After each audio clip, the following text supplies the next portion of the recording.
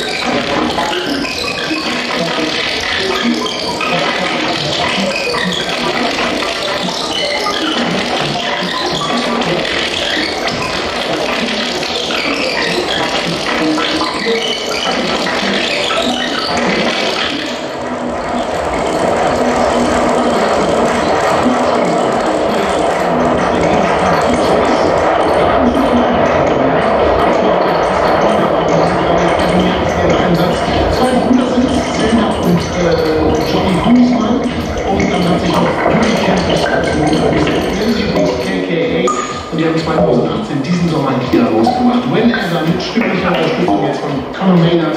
Das heißt,